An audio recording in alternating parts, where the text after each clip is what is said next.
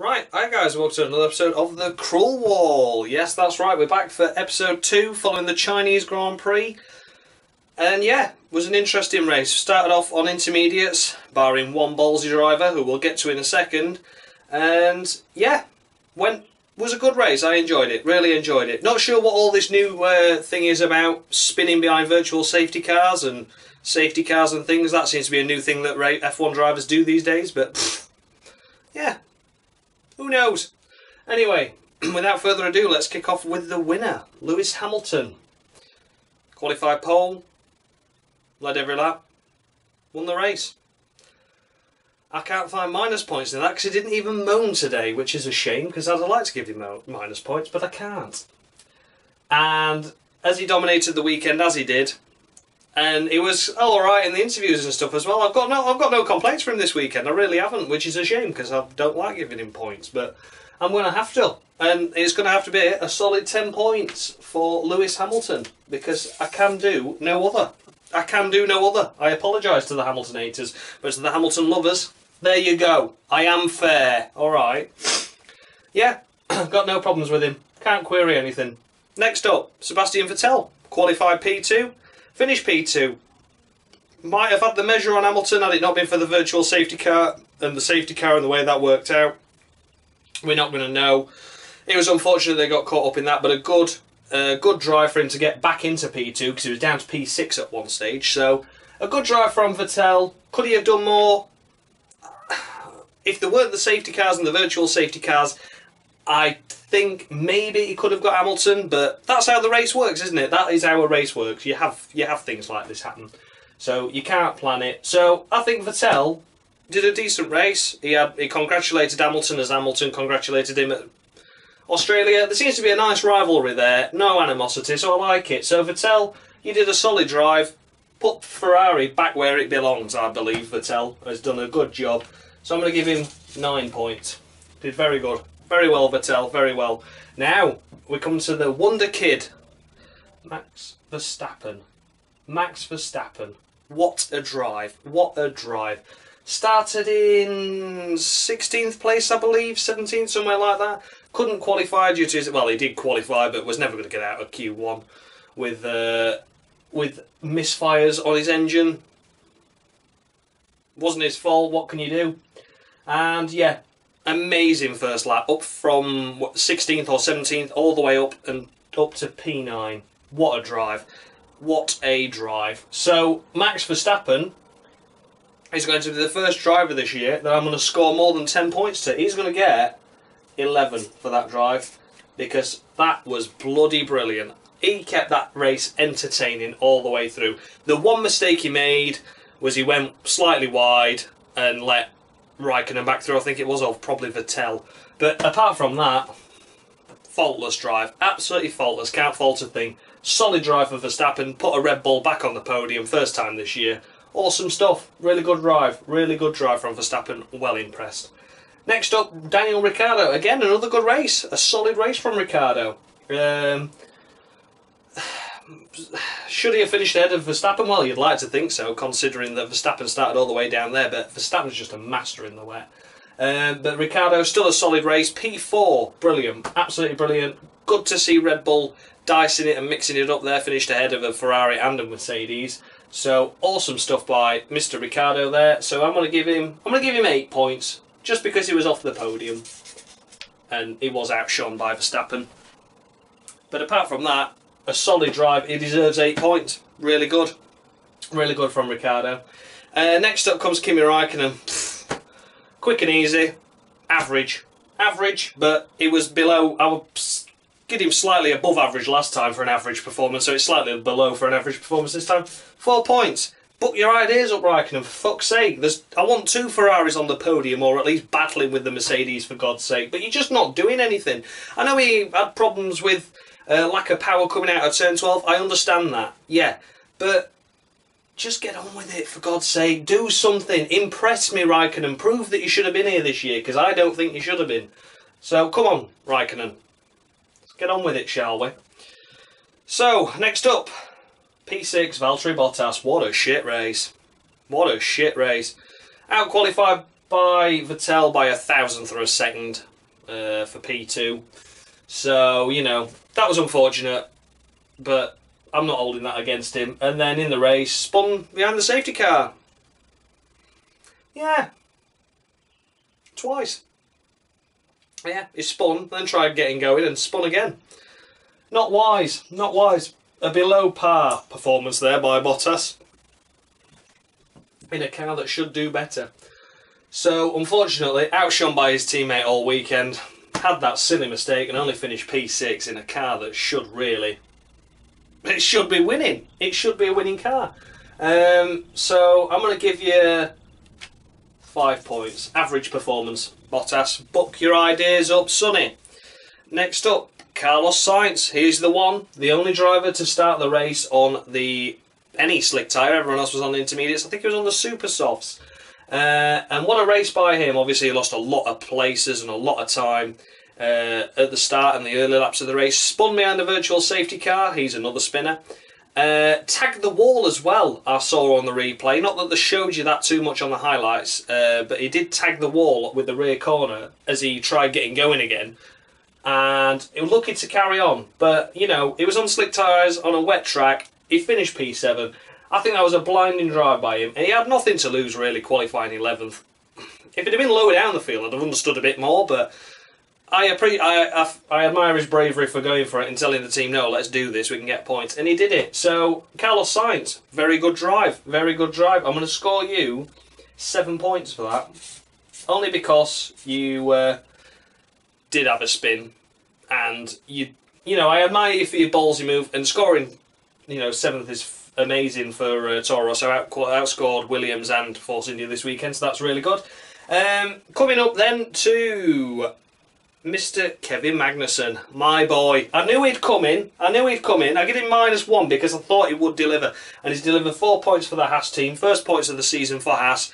Albeit Grosjean should have had some in Australia. Wasn't Grosjean's fault. But anyway, Kevin Magnussen, amazing drive. Came from P12 to P8, so didn't gain that many places, but you know, you can't argue it. You've got to take the points when they come and the opportunities. He certainly did. I'm pleased for you, Magnussen, and you've proved me right for once. Thank God for that. His first point since Russia last year. Um, or first eighth place since Russia last year, I should say. So, you know, it's been a long time coming, almost a year. So, yeah, good old K Mag. Good old K Mag. I want to give you Gonna give you. Oh, what shall I give him? I'm toying between two. I'm gonna give you eight just because I like you, K Mag, and I give you minus one before, and I did think that were not that harsh, but eight points for K Mag. He scored points for Haas, and well chuffed. Uh, next up was Sergio Perez, and hooray! Hallelujah! We've got someone that actually has listened to me and thought, do you know what? Lance Stroll is that dangerous. I have seen the cruel wall. I have seen the moaning Yorkshireman go on about how dangerous he is on his Twitter feed. I'm going to take him out before he can cause any problems. And yes, you certainly did, Mr. Perez. You took him out, got him beached in that gravel on lap one. God, I bet his dad's not pleased with him. But yes, Mr. Stroll, his father's not going to be happy at that, is he? Not going to be happy at all with that. But yes, Sergio Perez finished P9. Uh, could have had P8, but lost it towards the end. But again, he took out Lance Stroll, and that's all that matters to me. So, Mr. Sergio Perez, you can have for your efforts of. I'm going to score you six points for your race, and I'm going to award you five bonus points for taking Stroll out. So, you're going to get 11 as well. There we go. So, drivers, F1 drivers, if you're watching, Perez has listened to me. If you take out Lance Stroll, I will give you bonus points. So, there we go. Next up was Esteban Ocon, another solid 10th place. His second race with Force India, his second point. Only just behind his teammate this time, so a lot better effort by Ocon. I'm going to score him 7 again. I'm going to score him 7 again because, again, it was it was there or thereabouts. Fairly good effort, fairly good effort. Then we come to Romain Grosjean, who unfortunately had a spin in quali 1, uh, which flat spotted his tyres, so he had to pit, go back out again, and on his lap that he had to do to get into Q2 he uh, encountered a stricken vehicle and unfortunately that meant that he had to back off and not get through to Q2 which is unfortunate for Grosjean but it was a master of his own demise if it had not spun in the first time it had probably been safe Uh, came all the way up to 11th, just missing out on points. An unfortunate race, overshadowed by uh, K-Mag scoring his points. So I'm going to award Grosjean five points. And I'm surprised that it was K-Mag that scored the points first, but fortune. It's just how it goes in Formula One, isn't it? So then we come to who is it? Oh, it's Nico Hulkenberg after uh, Romain Grosjean. And Hulkenberg, I was expecting points this weekend. I really was. Qualified seventh, mega effort, and he just blew it in the race. Overtook two cars twice during safety car and virtual safety car periods. Uh, I don't know. I didn't see any of the footage to prove that he did it, but he says it was an unfortunate event of how it happened. He went past a spinning car that had recovered and obviously was meant to wait behind it and things like that. But I don't know the full ins and outs. But at the end of the day, he got 15 seconds worth of time penalties, which did cost him. It did cost him time. Uh, it would have put him closer to the top 10, probably on the edge of just getting 10th. But I was expecting more from him anyway. I was expecting him to be sort of around the 7th area and he didn't deliver. So poor old Hulkenberg, and I really like Hulkenberg, and this is going to pain me to do it, but I'm going to have to just give you four points. And I'm sorry for that. I really am, but I wanted you to do better than what you did. And you didn't. Now, coming up next, in P13, one place behind his teammate, is Jolyon Palmer. Or shall I call him Jolyoff Palmer? So, let's swap his name. Jolyoff. Jolyoff Palmer. Uh, yeah, pitted on the uh, green flag green flag lap for the end of the green flag lap to switch onto slicks, and did really shit on them. Shitter than Sainz did. Uh, spun a couple of times on those behind virtual safety car and safety car.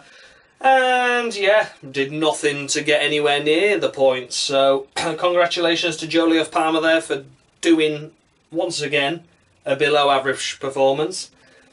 Uh, and yes, Jolyoff Palmer, what we're going to give him. I don't know, I can't be as harsh as minus 83.2, can I? No, but he still doesn't deserve points, so I'm going to give him minus, minus 10. Minus 10 for Jolyoff Palmer. You're still doing nothing to impress me, buddy. Book your ideas up, son. Book your ideas up. And uh, yeah, so as we go to P14. Who could be in P14? It's only bloody Felipe Massa, in it? I was singing his praises. I was singing his praises in Australia, and genuinely, I don't know what happened to him this race. I think he had to pit twice, or I don't know. But he was just nowhere near. Was nowhere near. He was on the edge of points briefly, and then pitted again and whatever. But he just didn't have the pace, so it makes you wonder if the Williams is struggling in the wet. Um, but yeah, that's uh, it was a below average performance by Felipe Massa after qualifying sixth again. Uh, and yeah, unfortunately, didn't deliver. So you're only getting two points. I'm going to be really cruel with you there, Massa, because, you know, it was a shite performance by you. Oh, my phone's just gone off. Oh, it's Jamie, Jamie, uh, JD Gaming, Jamie Day there, and he tells me to tell me on the cruel wall tell uh, everyone that Jolyon Palmer is a fucking idiot. So yeah, thank you JD Gaming. I've already done it. I've already minus him 10 points, pal. And thank you very much for texting while I'm doing the cruel wall. I appreciate it. So, next up is... After Massa, Marcus Ericsson. Going to Q2 again. Was that because of his misfortunes with teammate? Possibly. Um, but again, a solid performance in qualifying, but this race didn't deliver. He was a lonely 15th, lonely on his own. Uh, so yeah, I can't really score him too highly. It was unfortunate, but you know, he did do. Yeah, uh, what can you do? So I'm going to give you five. Five points for Marcus Ericsson. He only lost one place in the race, but he was the last of the finishers for Marcus Ericsson. Unfortunate, but there you go. Uh, next up is Fernando Alonso, the, the first of the retirements, and Alonso is driving the bloody wheels off that McLaren, getting it into places that car doesn't deserve to be, and I think the trouble is, he's driving it that hard that the car can't cope, and that's why it's breaking down.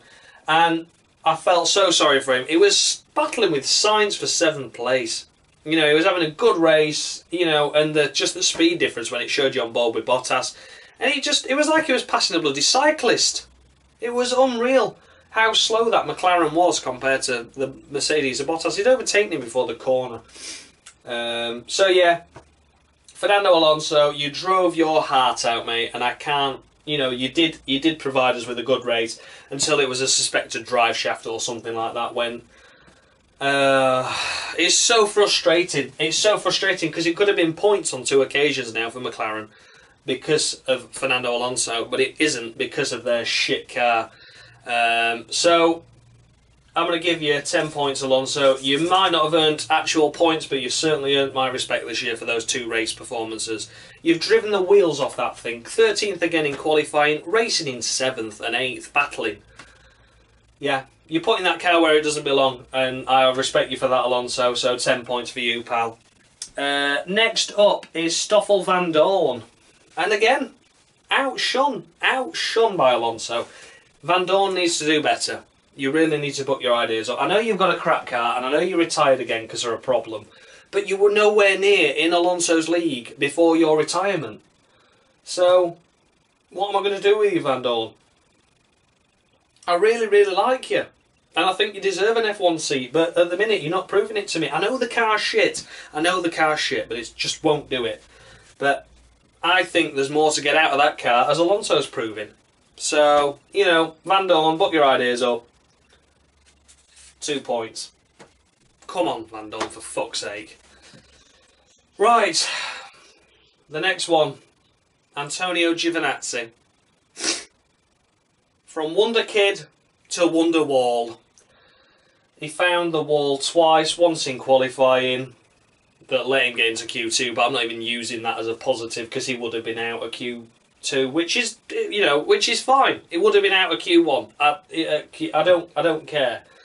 Um, but yeah, Antonio Giovinazzi, you did nothing, mate. I'm so sorry to say it, but you've gone, you've gone down. Not in my estimations, but I just really wanted you to have another solid race, prove that you deserve to be there, and instead you've done a shitload of damage to two cars. Well, to one car twice, but yeah, unfortunate for Giovinazzi. Can I rate him? Of course I can. It was his fault he crashed, and I'm gonna have to score you zero. I can't score you anything other Giovinazzi, and it's such a shame. But you've not, you didn't deliver. You didn't deliver on what you promised in Australia after that fantastic drive. Um, so, Giovinazzi, I still love you. Yeah, I still think you deserve an F1 seat, but you should have just calmed it down a touch. You know, you wanted to prove to the world that you deserved a race seat. Even if you're just that bit slower than Ericsson, would it have really mattered? Did you need to push that hard? Did you need to pit for them slick tyres? You know, it doesn't. It didn't matter. You're at the back of the grid anyway. Just have a solid race and get some laps under your belt. But I can appreciate you're a racer and you pushed it, but it didn't work for you. So zero points. And last but not least, it is. Oh, oh, it is. It certainly is, isn't it, guys? It is the mighty the absolutely stupendous, the taken out on one lap, but that's worth £75 million, Lance Stroll! Hooray! Woo! Lance Stroll.